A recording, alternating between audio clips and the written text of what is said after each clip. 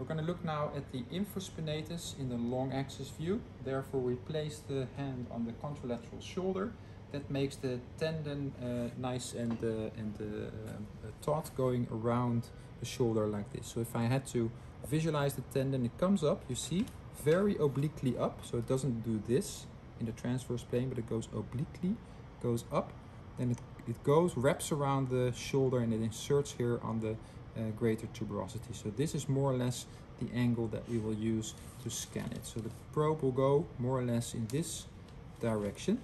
So let's look at the image. We start here at the uh, place where we see the humeral head, right here. That's your first landmark. We go a bit more medial and we see the bone of the glenoid. And next to the glenoid is a hyperreflective structure, but that actually lets sound beams through, so it's no bone.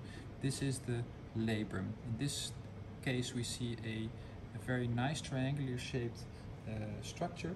And if we do a little dynamic maneuver like this, we can see on the image that uh, the labrum stays in place. Yes? Uh, scan it a little bit better. You see the labrum is not moving it's staying in its place. Okay, now we have the, the glenoid, we have the labrum, we have the humeral head with the cartilage. Now we go one layer above. This here is the infraspinatus, all this. And in the center of the uh, infraspinatus, we already see a nice hyperechoic line. That is the um, uh, aponeurotic expansion. That will, if we follow this distally, we should end up on the tendon. So we're going to try that now. We're going to follow this hyperechoic line.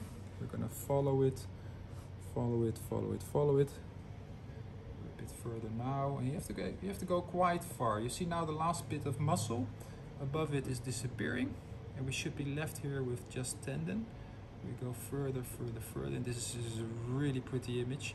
Uh, we see the cartilage here, it stops here, and from here to there, this is the footprint of the infraspinatus. As you can see, this infraspinatus goes all the way till here, covers the whole facet here of the um, infraspinatus. So the whole footprint is covered by tendon and that means that there's no tear, that it's uh, completely uh, intact. Okay, so we go back again, same maneuver. This is actually a very nice example. Uh, we go back, back, back. And now we move the probe a little bit uh, uh, cranially. So I go from this position, I go a bit, bit more cranial like this. And then you can see in the bone of the scapula. So I'm here in this position. Let me see if I can scan that a bit better. So there we have the, the glenoid again with the labrum. This is the bone of the scapula. Go a little bit more cranial cranial. Let me scan with two hands for a second. Sometimes it's hard to find it but now we see it it's a little bit vague, but it's enough for me to make my diagnosis. This is the bone, goes down, comes up here. So this is a, a notch. And in this notch you have the suprascapular nerve. The, um, and the suprascapular nerve here can be entrapped because of labral tears. Uh, fluid can come out and they can form a cyst right in this location. So that's why it's important to look here for any cystic structures that can press the nerve and usually they give um, a loss of strength of the infraspinatus. And uh, that's it. That's the infraspinatus.